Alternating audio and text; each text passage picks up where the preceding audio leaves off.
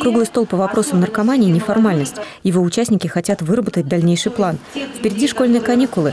В это время дети порой предоставлены сами себе, а значит, велика вероятность того, что кто-нибудь может попасть под дурное влияние и, как говорится, подсесть на иглу. Первую встречу такого формата провели в Развилковском поселении. Здесь есть такая проблема, и они говорят, что здесь э, есть случаи, в том числе продажи э, и распространения наркотиков, э, хотя невысокий процент, но тем не менее мы решили начать с развилки, потому что здесь большая школа, одна из самых крупных, и колледж Москвы. В Ленинском районе ведется активная работа по борьбе с наркотиками, о чем и доложил начальник управления территориальной безопасности ГО и ЧС Владимир Дмитрашко. Он отметил, что большую помощь в борьбе с распространением наркотиков оказывает вновь восстановленная народная дружина увеличение числа жителей, расширение заселенных территорий и, как следствие, возрастание нагрузки на участковых. Помощь дружин в таком случае велика. Сейчас их две – в Развилке и Молокове. Важный факт – наркотики меняют свой состав, становятся все более синтезированными. И вот на рынке спайсы о пагубном действии на организм которых знает даже самый незаинтересованный человек. Модный наркотик доступен молодежи, да еще и продажи на каждом шагу. Интернет, телефоны на стене, закладки.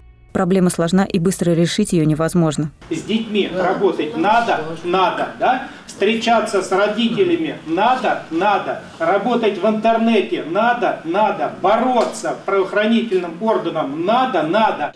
Стоит отметить, что молодежь, пришедшая на встречу, это подростки в возрасте от 15 до 17 лет, та самая группа риска. Ребятам было интересно участвовать в дискуссии, они были любопытны и смело выражали свое мнение. Меня зовут Кирилл, и ну, как бы я выражу мнение всех своей группы. Как бы мы считаем, что наркотики это вообще плохая вещь, ну как бы зачем гробить себя, гробить свое здоровье, если ты можешь заниматься спортом, там где-то копаться в машинах, ну, заниматься чем-то интересным. Илона Броневицкая, общественный деятель, также приняла участие в этой встрече. Ребята засыпали ее вопросами.